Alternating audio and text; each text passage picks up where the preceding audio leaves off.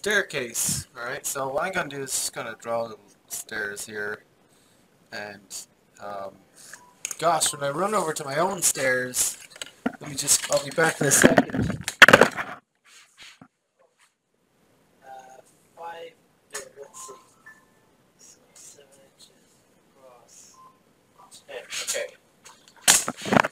So I'll just measure my own stairs really quickly and it goes up 7 inches and across 10, right? So that's what mine does anyway. 7 across 10, up 7, and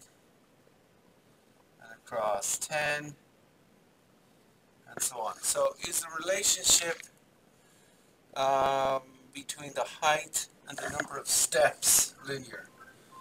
Okay, so we'll look at the number of steps and then we'll look at the height. I guess I didn't need, I didn't, didn't really care about how far I went across. Uh, so after one step at 7 in, now this is in inches IN.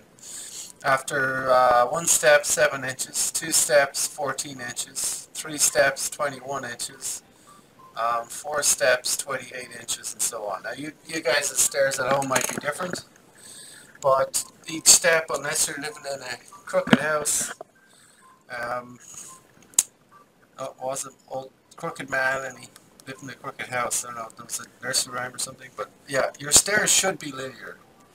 So anyway, so so mine are, are linear because they as as you go up the, by the same amount on the inputs, the outputs are going up by the same amount. They keep going up by seven inches each time. So that's a linear relationship here, right?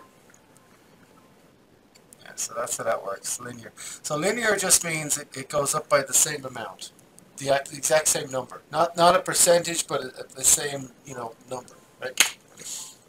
So, so let's do a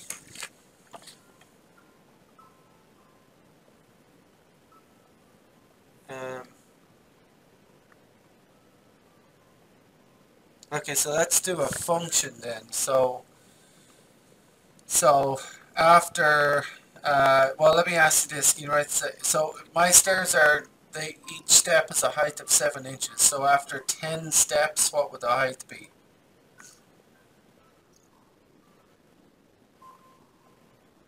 Seventy, right? Or seven times ten, right? So after, let's say, x number of steps, what would the height be? Right, right. So our function is just the height h equals 7 times the number of steps, right? That's the function. That's the formula, or the function, or whatever, right? Formula, function, whatever, right? So that's all we need. That's it. It's linear. There's the formula. There's nothing else to say about it. That's all it is. Yep.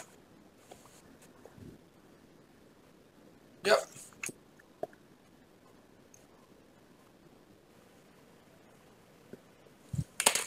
Um, oh, did I put that in the quiz? Darn it. Okay, one sec. Let me, let me...